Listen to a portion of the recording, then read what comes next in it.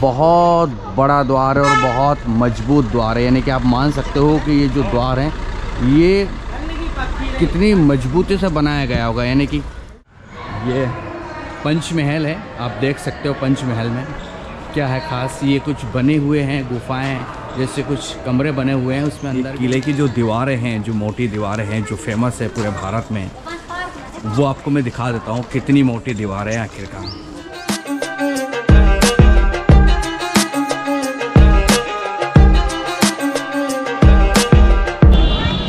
दोस्तों, नए व्लॉग में आप सभी का स्वागत है। एक्चुअली हम मुरैना से निकले थे भिंड के लिए। लेकिन जब हम रास्ते में आ रहे थे तो सोचा क्यों ना यार हम भिंड जाएँ। उससे अच्छा है कि कुछ दूरी पर झांसी है तो हम झांसी निकल लें। तो तकरीबन 140 किलोमीटर दूर का सफ़र तय कर कर हम आ पहुँचे झांसी। और झांसी आने के बाद जो सबसे पहला हमारा विज़िट है, जो हमने सबसे पहला जो दौरा किया है, वो किया है झांसी का किला। जी हाँ झांसी का किला बिल्कुल प्रसिद्ध है। आप सभी को पता है, जो रानी लक्ष्मीबाई थी, झांसी की रानी जिसे कहते हैं। कंगना रनौत का मत समझना आप। झांसी की रानी ओरिजिनल वाली। उन्हें के किले के यहाँ आए हैं। काफ़ी ज़्यादा भीड़ रहती है मैं आपको दिखा देता हूँ। यहाँ काफ़ी घूमने लो, वाले लोग आते हैं। ये। तो हमने यहाँ जब भी अगर आप बाइक से आए तो बाइक आप यहीं स्टैंड करें। और स्टैंड करने के साथ साथ एक्चुअली आप उसमें व्हील लॉक ज़रूर रखें। है ना? बैग जमा करने के लिए आपका यहाँ लगा है। क्यों बैग जमा करते हो? बैग जमा अगर आदमी नहीं ले जाएगा थकेगा तो जमा ही करना पड़ेगा। कितना रुपए लेते हो? बैग का? हाँ। बैग तो रखवा लेते हैं वैसे कोई दिक्कत नहीं है जो चार्ज लेता है दे देते कोई पाँच भी देता कोई दस भी दे देता। वहाँ भी होते हैं क्या? बैग जमा की यहीं होते नहीं अभी क्लॉक रूम बनना है। हैं? बनना है अभी क्लॉक रूम तो बनना आप किले की तरफ़ से ही हो? ठेका होता है इसका। अच्छा आपने ठेका ले रखा बैग जमा करने हाँ, का? प्राइवेट नहीं बैग जमा करने का नहीं मोटरसाइकिल का। अच्छा मोटरसाइकिल का। और बैग का अलग है? बैग का है नहीं है जैसे अगर आप अभी ले लेके नहीं जा पाओगे। हाँ। क्लॉक रूम है नहीं तो क्या हाँ। करेगा कस्टमर अच्छा भारी तो बैग वगैरह कुछ है तो वो कहाँ तक ढोता रहेगा? कहाँ तक ढोएगा चढ़ाइयों अच्छा, अच्छा, तो अच्छा, उसके लिए सहायता के लिए रख देते हैं तो ये बैग स्टोर है यहाँ पर वैसे और मैं भी रखने वाला हूँ क्योंकि मेरे पास तो ऑलरेडी बहुत बड़ा बैग है। मैं कहाँ कहाँ लेके जाऊँगा इसको बैग को? क्योंकि वेट भी है उसमें और इतना ढोना पॉसिबल भी नहीं होगा। कितना चार्ज करोगे? कितना चार्ज करोगे? कितना बड़ा बैग है आपका? ये बैग है पीछे का बस। दस रुपये चार्ज होगा। और ये हेलमेट हेलमेट आप ले जा सकते हैं। नहीं ये भी रख लो ना कर- लॉक करना तो लॉक कर दीजिए बैग के अंदर बैग के अंदर नहीं यहीं रख दूँ तो। उस पर नंबर डलेगा फिर उसका दस रुपए चार्ज अलग हो जाएगा। अरे दोनों का दस रुपये नहीं होगा? नहीं होता। अलग अलग होगा? हाँ अलग अलग अलग अलग नंबर डलता है। तो, तो हमने बाइक का भी तो दिया बाइक का दिया है आपका हेलमेट का लॉक आता है मार्केट से खरीद के आप लॉक कर सकते हैं हेलमेट। यूपी देख रहे हो आप?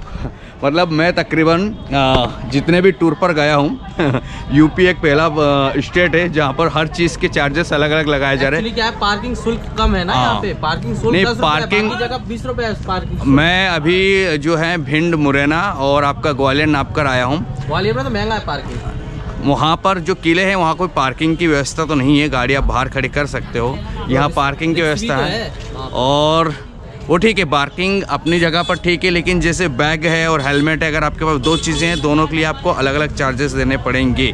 ये ग्वाल अ, मतलब ये जो झांसी का किला है यहाँ पर चार्जेस है। तो बीस रुपये लोगे आप मतलब। इससे कम नहीं होंगे। आप ज़िम्मेदारी मुझे दोगे तो कोई ज़िम्मेदारी का तो चलिए ये रखिए। आपका सामान चले जाएगा आप तो मुझसे लोगे ना। तो आप कैरी कर सकते हो। बाकी ये जो बड़ा बैग है ये मैं रखने वाला हूँ यहाँ पर। जो आप अपनी मर्ज़ी से रखना चाहें वो रख सकते हो। वीडियो बनाते हैं यूट्यूब पर डालते हैं ये कहाँ रखूँ इसको? यहीं रखा है। ये मैंने रख दिया। अच्छा। चलो ये एक नई चीज़ देखने को मिली है। यहाँ पर कैमरा अलाउ नहीं है फ़ोन अलाउ है और आप फ़ोन से वीडियो शूट कर सकते हो फ़ोन हाँ, से बाकी कैमरा यूज़ नहीं। स्टैंड वाला नहीं है ये ये तो इसको अगर हाथ से पकड़ लूँगा तो? आप बात कर लेना अच्छा ऐसा कर लूँगा। चलिए ये अगर आप कभी भी आएँ तो पहले परमिशन लें और परमिशन लखनऊ से मिलती है और यहाँ से भी अगर आप बात कर सकते हो तो आ, एंट्री पा सकते हो। हाँ इंचार्ज जो है यहाँ पर वो बात करके अंदर जाएँ। वैसे गुपचुप तरीके से कैमरे लेके ना जाएँ है ना? वैसे मेरे पास और भी बड़ा कैमरा है पर इसको ले तो जा सकता हूँ ना? यूज़ नहीं करूँ कुछ लेना उनसे वो अगर आपको परमिशन देते हैं तो ओके ओके। मतलब अगर आप बड़ा भी कैमरा लेके आए हो तो आपको परमिशन लेना पड़ेगी कि भाई मेरे पास ये कैमरा है मैं इसको ले जा सकता हूँ नहीं ले जा सकता हूँ। तो ये पूरा कुछ रूल रेगुलेशन है इनके। चलिए अब अंदर जाकर देखते हैं कि आखिरकार क्या परमिशन मिलती है, नहीं मिलती, है ना? इतनी भीड़ यहाँ होती है और ये किला आप देख सकते हो। रानी लक्ष्मीबाई का एक किला है और झांसी का बड़ा फ़ेमस और प्रसिद्ध है। अब यहाँ पर कैमरा ले जाना अलाउ है नहीं है तो अंदर ही पता चलेगा। और अगर अलाउ नहीं होगा तो हम यूज़ नहीं करेंगे, अगर होगा तो हम कर लेंगे। ये बिल्कुल ऐसा नज़ारा है। ये शायद अंदर टिकट मिल रहा है, अंदर जाने के लिए यहाँ से आपको टिकट मिलता है। ये यहाँ पर टिकट के पैसे लिखे हुए हैं, है ना? भारतीय सार्क और ट्वेंटी फाइव रुपीज़ आपको देना पड़ता है और पीओस द्वारा आपको ट्वेंटी रुपीज़ यानी कि ऑनलाइन द्वारा आपको ट्वेंटी रुपीज़ और सारी चीज़ें हैं मतलब ये आपको विदेशी के लिए आपको कैश तीन सौ और ऑनलाइन ऐसे पंद्रह वर्ष तक बच्चों को प्रवेश निःशुल्क है। सूर्योदय से सूर्यास्त तक ये आपको पूरा चार्ट है। तो फाइनली दोस्तों कैमरे के लिए अलग से टिकट काटा है, जो ट्वेंटी फाइव रुपीज़ का होता है। आपको अगर आप कैमरा और स्टैंड लेकर आ रहे हो तो आपको ट्वेंटी फाइव रुपीज़ यहाँ पे करना पड़ेगा। उसके लिए ये ऐसा टिकट स्पेशल बनता है। और वन पर्सन के लिए एक अलग टिकट बना है। उसका जो प्राइस है वो भी ट्वेंटी फाइव यानी कि फिफ्टी रुपीज़ कुल चार्जेस हैं कैमरे के लिए। और यहाँ जो है एक व्यक्ति के लिए। ये जो गार्ड लगे रहते हैं, यहाँ पर आपको ये शो करना पड़ता है। ना। चलिए, ये शायद वीआईपी एंट्री होगी। ना। ये पूरा हो चुका है और यहाँ से अब हमारा चलेगा।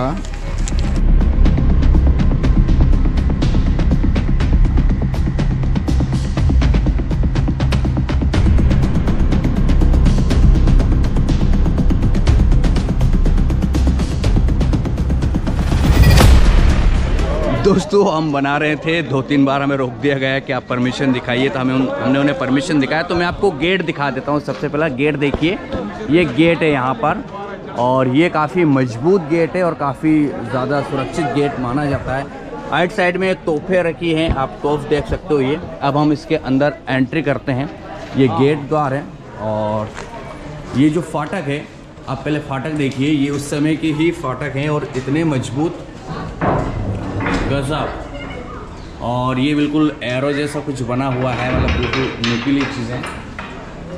ये यानी कि सुरक्षा की दृष्टि से अगर आप एंट्री पहले होती थी, ये कुछ और, एक फ़र्स्ट गेट और ये सेकंड गेट है ये मतलब। शायद हो सकता है ये देखने के लिए रहा होगा, कोई अंदर प्रवेश तो नहीं कर रहा उस समय कुछ भी। और बाहर तोहफे रखी हैं, और जैसे कुछ उन्हें असुरक्षा फील होती होगी, या कुछ लगता होगा। तो शायद वो तोप का भी इस्तेमाल करते होंगे। तो आप ये ऊपर देखिए, इतना बहुत बड़ा है मतलब काफ़ी ज़्यादा, और इतना मोटाई है, इसकी काफ़ी ज़्यादा मोटाई है। इसके बाद ये अंदर का एंट्री गेट है, इस तरह से, ना, ये अंदर का माहौल है, ये ऐसे ग्राउंड है, शायद कुछ पहले होगा नहीं इसमें, लेकिन ये देखिए, ये पूरा अंदर का नज़ारा है। एक छोटी जो ये जो चट्टाने हैं ना ये एक्चुअली इतनी मज़बूत पहले जो तमाम किले बने हुए इन चट्टानों से ही बने हुए हैं। और इस को ये अठारह सौ छियानवे में इसका निर्माण किया गया था। ये जो बना है ये पता नहीं क्या है लेकिन वहाँ पर हाँ जो संगीत के इंस्ट्रूमेंट होते हैं आ, मतलब वो जो संगीत बजने के शायद वही होंगे या कुछ और है लेकिन ये ऐसा कुछ अंदर ही मौजूद है। इसके बाद एक पंच महल है ये। बाहर से कुछ ऐसा नज़र आता है। हाँ। यहाँ पर बहुत सारी अंदर ही अंदर जो फैला हुआ है इसमें बहुत सारी चीज़ें देखने की जैसे यहाँ है कुदान स्थल, अमोद बाग, पंचमहल। तो पंचमहल तो मैं आपको दिखा देता हूँ। सबसे पहले पंचमहल मैं आपको अंदर का दिखा देता हूँ, कैसा दिखता है। ये जो है, ये पंचमहल है और इसको पंचमहल जो नाम दिया गया है, उसके पीछे का भी रीज़न बहुत बड़ा होगा शायद।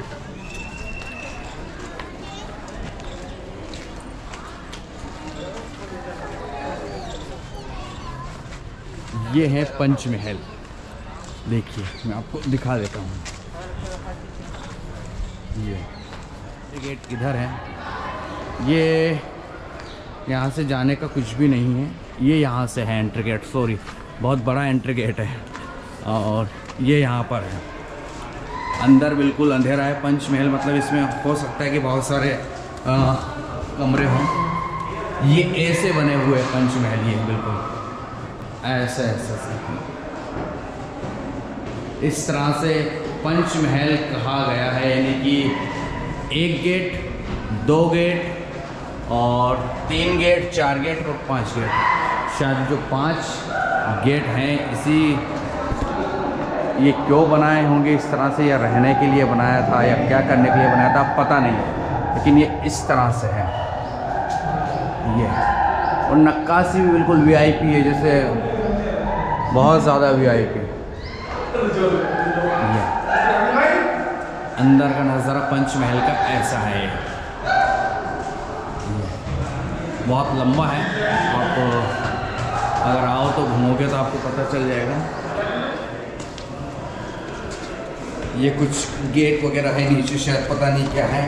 तो तल घर है, हम कह सकते हैं इसको।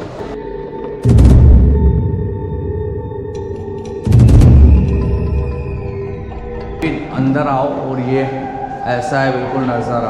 है ना। ये तो कोप भवन लग रहा है मुझे। है ना। मतलब कोप भवन का मतलब ये है कि उस समय जो रहते थे ना, जब कोई नाराज़ होता था तो उसको कोप भवन भेज दिया जाता था या चली जाती थी। रानियाँ, कुछ ऐसे ऐसे नज़ारे हैं ये।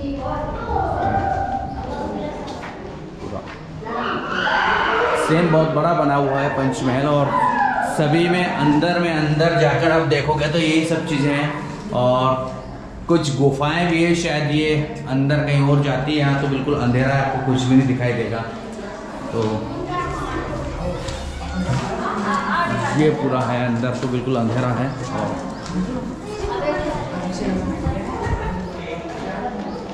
ये बिल्कुल सब जगह जालीदार गेट अभी लगाए हैं, ये पहले के नहीं थे। और यहाँ से फिर ऊपर जाने का ये रास्ता है, यहाँ से फिर आप ऊपर जा सकते हो। चलिए।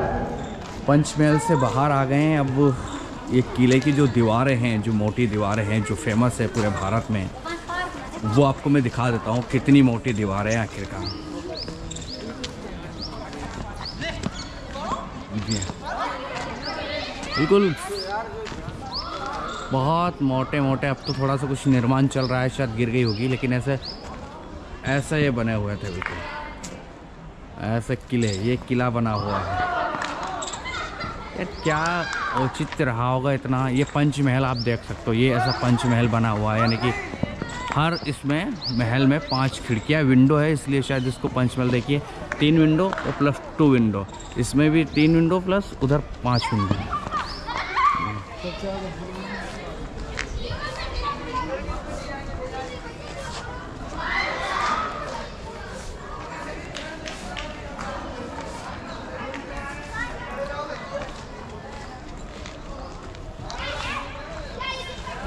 हमने पंचमहल कंप्लीट कर लिया है। अब हम आपको कुछ जो किले की दीवारें हैं अंदर की